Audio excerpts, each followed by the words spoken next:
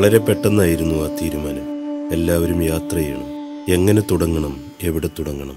ചിന്തിക്കുന്നതിന് മുമ്പേ ഗുരുസ്ഥാനത്തു നിന്നുള്ള മറുപടി. ചന്ദ്രൂരിൽ നിന്നല്ലാതെ മറ്റെവിടെ നിന്ന്? ഇത് വെറുമൊരു യാത്രയല്ല.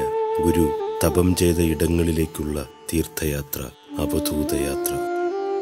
ഇന്നേക്ക് തൊണ്ണൂറ്റിയേഴ് വർഷങ്ങൾക്ക് മുമ്പ് ആ പിഞ്ചുപാദങ്ങൾ മണ്ണിനെ ചുംബിച്ച ഇടത്തേക്ക് കാലത്തിന്റെ മഹാനിയോഗം പിറവികൊണ്ട് വാഗ്ദത്ത ഭൂമിയിലേക്ക് ദൈവം ഭൂമിയിലേക്ക് ആ കുഞ്ഞു പൂവിനെ ഇങ്ങനെ ഇറുത്തിടുമ്പോൾ അത് ഈ പ്രപഞ്ചത്തിന്റെ വസന്തമായി മാറുകയായിരുന്നു. കാലാതിവർത്തിയായും അലൗകികവുമായ പരമപ്രകാശം പകർത്തി ഗതിഭംഗം വന്ന മന്വന്തരത്തിന്റെ വൈകല്യ നിദാനം അറിഞ്ഞു തിരുത്തി ലോകജനതയ്ക്കാകമാനം കൈവല്യത്തിലേക്കുള്ള സുഗമമാർഗം തെളിയിച്ചുകൊണ്ട് ഒരാചാര്യൻ ഇതിലെ കടന്നുപോയി. അടിയുറച്ച സത്യസന്ധതയിലൂന്നിയ ക്ലേശപൂരിതമായ തപശ്ചര്യയിലൂടെ നിഷ്കാമകർമ്മ നൈരന്തര്യത്തിലൂടെയാണ് ആ ജീവിതം മുന്നോട്ട് നീങ്ങിയത്. പരമോദാരമായ ആ പ്രകാശവീതിയിൽ പതിഞ്ഞ പാദമുദ്രകൾ സാധനം നോക്കിക്കാണാൻ ദൈവം നൽകുന്ന അസുലഭ അവസരം ഗുരുവിനോടുള്ള നമ്മുടെയൊക്കെ ആത്മബന്ധം. രണ്ടായിരത്തി ഇരുപത്തിനാല് ഏപ്രിൽ മുപ്പത് ഗുരുസ്ഥാനീയ അഭിവന്ദ്യ ശിഷ്യപൂജിത അമൃതജ്ഞാന തപസ്വിനി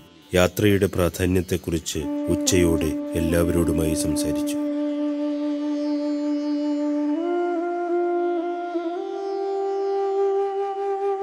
കുഞ്ഞു കരുണൻ പിച്ച വെച്ച മണ്ണ് ഇമപൂട്ടാതെ കൗതുകത്തോടെ നോക്കി നിന്ന കുഞ്ഞു പൂക്കളും കിളികളും ചെടികളും മരങ്ങളും പൂക്കളിൽ പറന്നിറങ്ങുന്ന പൂമ്പാറ്റകളോടും പൂത്തുമ്പുകളോടുമൊക്കെ കുശലം പറഞ്ഞവൻ കരുണയുടെ കരങ്ങൾ നീട്ടി. കിഴക്ക് കായലിലെ ഓളങ്ങൾ അവനു വേണ്ടി നൃത്തം ചവിട്ടി. പടിഞ്ഞാറ് കടലിലെ തിരകൾ അവനായി ആർത്തലച്ചു. രണ്ടിനുമിടയിലെ കാറ്റ് മണൽപ്പരപ്പിനെ തഴുകിക്കടന്നുപോയി ഓലമേഞ്ഞ ഒരു ചെറിയ വീട്ടിൽ തെളിഞ്ഞു കത്തുന്ന മണ്ണെണ്ണ വിളക്കിലെ മഞ്ഞത്തിരി നാളത്തിൽ ഇടയ്ക്കിടെ മിഴി തുറന്നു നോക്കി ആ പൊന്നോമന കിടന്നു. ആയിരത്തി തൊള്ളായിരത്തി ഇരുപത്തിയേഴ് സെപ്റ്റംബർ ഒന്നിന് പുലർച്ചെ നവജ്യോതി ശ്രീ കരുണാകര ഗുരു ഈ പുണ്യഭൂമിയിൽ പൂജാതനായി. രണ്ടായിരത്തി ഇരുപത്തിനാല് മെയ് ഒന്ന് ബുധനാഴ്ച മറ്റൊരു ചരിത്രം ആരംഭിക്കുകയായിരുന്നു. ഈ ഉത്തരവാദിത്വം ഏറ്റെടുത്ത് ഓരോരുത്തർക്കും നേടാൻ പറ്റിയ ഒരു വഴിയാണിത്. ഈ അവധൂത യാത്രയിലൂടെ ഓരോ മനുഷ്യരും നല്ല മനുഷ്യനാകാൻ നല്ല ജ്ഞാനികളാകാൻ നല്ല അനുഭവമുള്ള ശിഷ്യന്മാരാകാൻ നല്ല അനുഭവമുള്ള ഗൃഹസ്ഥാശ്രമികളാകാൻ നല്ല അനുഭവമുള്ള മാതൃമണ്ഡലത്തിന്റെ അമ്മമാരാകാൻ നല്ല അനുഭവമുള്ള വി എസ് എൻ കെയുടെ പ്രവർത്തകരാകാൻ എല്ലാവർക്കും അവസരമാണിത് സന്യാസിമാർക്ക് മാത്രമല്ല ആ അവസരം യോഗ്യതയോടുകൂടി നിങ്ങൾക്ക് ചെയ്തെടുക്കാൻ കഴിയണമേ എന്ന് ഗുരുവിനോട് പ്രാർത്ഥിച്ചുകൊണ്ട് എന്റെ വാക്കുകൾ എന്റെ ഗുരുവിന്റെ തൃപ്പാദങ്ങൾ ഗുരുവിന്റെ മഹാ അവധൂതിന്റെ അംശങ്ങളെ സ്വജീവിതത്തിൽ സംശീകരിക്കുവാൻ ഒരവധൂതയാത്ര ഗുരുവിൽ നിന്നും ദീക്ഷയേറ്റുവാങ്ങിയ ശിഷ്യ പരമ്പര ഗുരുവിന്റെ ജന്മഗൃഹത്തിൽ. ഗുരുവിന്റെ നിറവുകളിൽ അവരുടെ കുറവുകൾ കൂട്ടിയിണക്കി ആ പാദമുദ്രകളിൽ നമസ്കരിച്ചെഴുന്നേറ്റു. ആകാശത്തിന്റെ അനന്തവ്യാപ്തിയെക്കുറിച്ചറിയാൻ പറന്നുയരുന്ന കാട്ടുതുമ്പികളെപ്പോലും. ഓർമ്മ വെച്ച നാൾ മുതൽ നിർമ്മലമായ മനസ്സിനുള്ളിൽ ഒരു പ്രകാശരൂപം നിറഞ്ഞിരുന്നു. അത് പറയുന്നതിനനുസരിച്ചായിരുന്നു കരുണൻ കുഞ്ഞ് സംസാരിച്ചിരുന്നത്. അതെല്ലാ കുട്ടികൾക്കും ഉണ്ടായിരുന്നെന്നായിരുന്നു കുഞ്ഞിന്റെ വിശ്വാസം. കുടുംബക്ഷേത്രത്തിലെത്തുമ്പോൾ ആ പ്രകാശത്തിന് ശക്തി കൂടും. ഭക്തി പരവശനായി ചുറ്റുപാടും നടക്കുന്നതൊന്നും അറിയാതെ ഏതോ നിർവൃതിയിൽ അങ്ങനെ ലയിച്ചു നിൽക്കും. ഒരു ദിവസം പതിവ് പോലെ ക്ഷേത്രത്തിലെത്തിയപ്പോൾ അവിടെ നിൽക്കണമെന്ന് തോന്നി ഒരശരീരി കേട്ടു. ഇവർ മുട്ടാളന്മാരും കാട്ടാളന്മാരുമാണ്. ഇവരോട് ഈ വിവരം പറയരുത്. ഇവർക്കിത് മനസ്സിലാവുകയില്ല. ഗുരുവിനൊരിക്കലും മറക്കാൻ കഴിയാത്ത വീടിനടുത്തുള്ള കുമർത്തുപടി ക്ഷേത്രം. എഴുപുന്നയിലേക്ക് അമ്മയെ രണ്ടാമത് വിവാഹം കഴിച്ചു കൊണ്ടുപോയി. കരുണൻ കുഞ്ഞ് നിശബ്ദനായിരുന്നു. കായൽപ്പരപ്പിലേക്കും ആകാശ ചുമരുകളിലേക്കും മിഴിനട്ട് അതിഗഹനമായ ചിന്തയുടെ ആഴങ്ങളിൽ ഊളിയിട്ട് സ്വയം മറന്നു നിൽക്കുന്ന ആരോടും അധികം സംസാരിക്കാത്ത ബാലൻ മകനെ പിരിഞ്ഞ ആ അമ്മയ്ക്ക് ദുഃഖം സഹിക്കാനായില്ല. ഒരു ദിവസം അവസരം ലഭിച്ചപ്പോൾ രണ്ടാനച്ഛന്റെ അനുവാദം വാങ്ങി കരുണൻ കുഞ്ഞിനെ എഴുപുന്നയിലേക്ക് കൊണ്ടുവന്നു. സന്തോഷത്തോടെ ഓടിയെടുത്ത കുട്ടിക്ക് അത്ര സുഖകരമായിരുന്നില്ല പിന്നീടുള്ള ദിനങ്ങൾ. അരോചകമായി തോന്നിയ രണ്ടാനച്ഛന്റെ വാക്കുകൾ അമ്മയുടെ കണ്ണുനീർ. സൗമ്യനും നിഷ്കളങ്കനുമായ കരുണൻ കുഞ്ഞിനോട് അതിരറ്റ സ്നേഹവും വാത്സല്യമുള്ള ആളായിരുന്നു അമ്മാവനായ ശങ്കരൻ. അമ്മാവനെ കാണാൻ എഴുപുന്നയിൽ നിന്നും കരുണൻ കുഞ്ഞ് വഞ്ചിപ്പുരയിലേക്ക് എത്തുമായിരുന്നു. കുഞ്ഞിന് വന്നിരിക്കാൻ ഏറെ ഇഷ്ടമുള്ള ഇടമായിരുന്നു അത്. ജോലി കഴിഞ്ഞെത്തുന്ന അമ്മാവിനെ കാത്ത് അവിടെ ഇരിക്കുന്ന സമയത്ത് വള്ളപ്പരപ്പിനും ആകാശസീമയ്ക്കും അപ്പുറം നിരവധി ദർശന കാഴ്ചകളിലൂടെ കരുണൻ കുഞ്ഞ് കടന്നുപോകുമായിരുന്നു.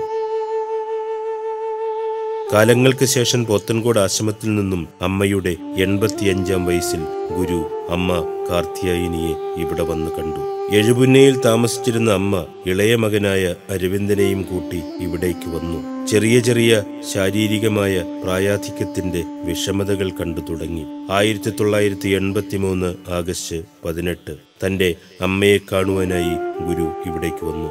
ആ നെറുകയിൽ കൈവച്ച് പ്രാർത്ഥിച്ച് ധ്യാന നിമഗ്ധനായി. രാധ എന്ന തന്റെ അരുമ ശിഷ്യ തീർത്ഥജലം അമ്മയുടെ ചുണ്ടുകളിലേക്ക് ഇറ്റിച്ചു. ഗുരു തിരികെ ഇറങ്ങി. ഏതാണ്ട് അഞ്ച് കിലോമീറ്റർ താണ്ടിയപ്പോൾ രാധയ്ക്ക് ദർശനം ലഭിച്ചു. അമ്മ ഇഹലോകവാസം പിടിഞ്ഞു ആ വീടിന്ന് പുതുക്കിപ്പണിതു കാർത്തിയായനി മന്ദിരം. നക്ഷത്രങ്ങൾ അണിഞ്ഞ നീരാകാശത്തിന് കീഴിൽ അരണ്ട നിലാവെളിച്ചത്തിൽ കാലം പലപ്പോഴും ഗുരുവിന് കിടപ്പാടമൊരുക്കിയത് എഴുപുന്ന ഭജനമഠത്തിന്റെ തിണ്ണയിലാണ്. വിശപ്പും ക്ഷീണവും കൊണ്ട് തളർന്നുറങ്ങിയ ദിനങ്ങൾ ഏകനാണെന്ന് തിരിച്ചറിഞ്ഞ നിമിഷങ്ങൾ.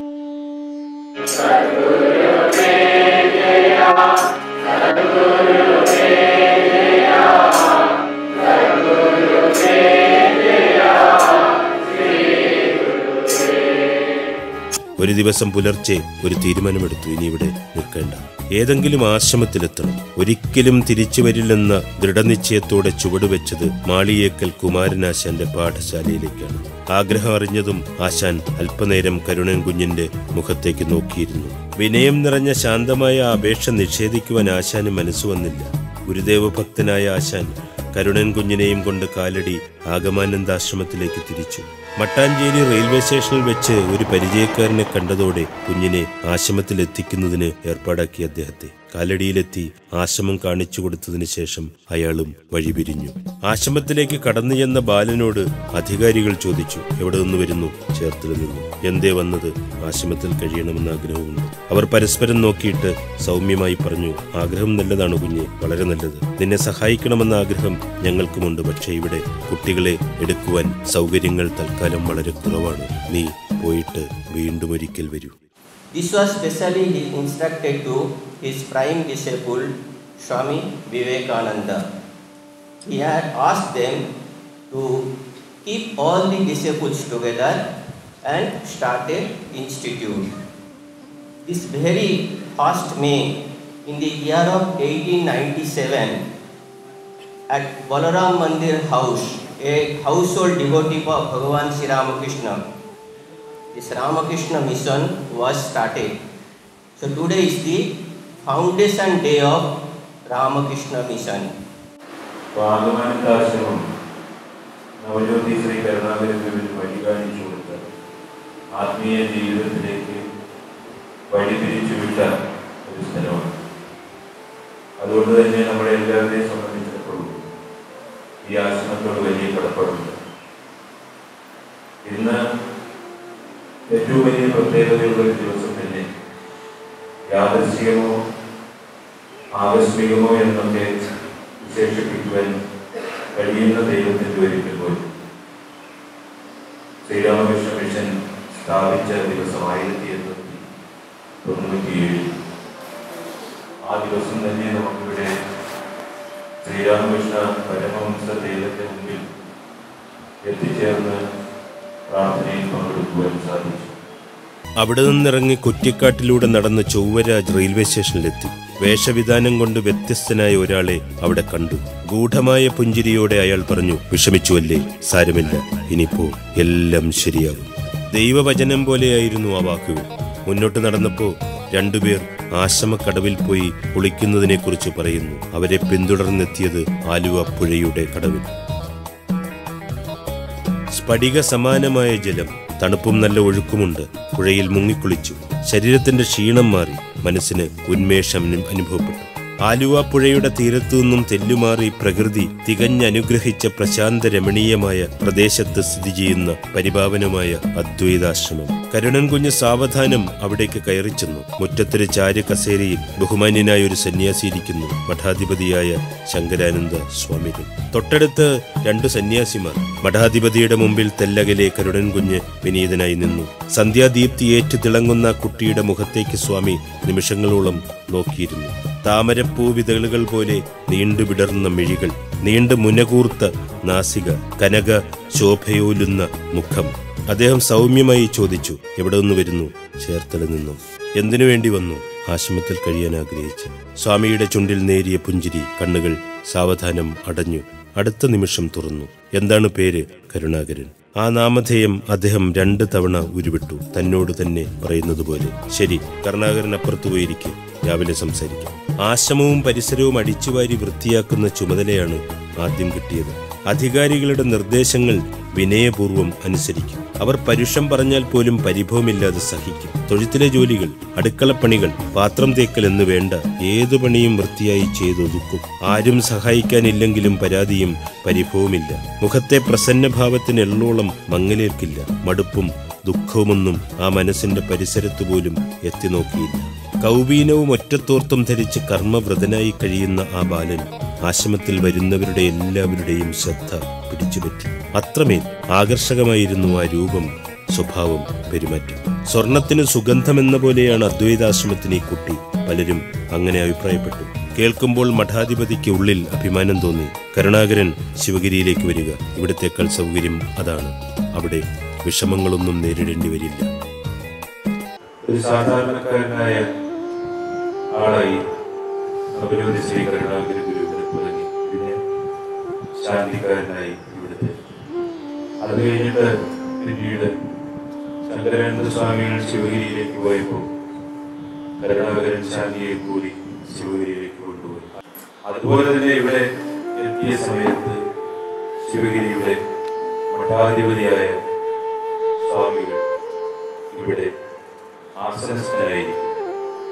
വളരെ വലിയ സന്തോഷവും കൃതാർത്ഥതയും പകരുന്ന ഒരു മുഹൂർത്തമാണ് ശാന്തിഗിരി ആശ്രമത്തെ ഈ അദ്വൈതാശ്രമത്തിലാണ് ശിവഗിരി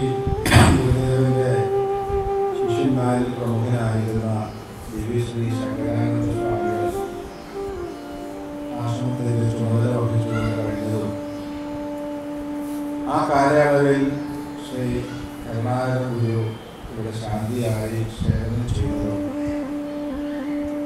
തുടർന്ന് അദ്ദേഹം ശിവഗിരിയിലും അരിപ്പുറത്തുമൊക്കെ സേവനം ചെയ്തൊക്കെ എല്ലാവർക്കും അറിയാവുന്ന ചരിത്രം.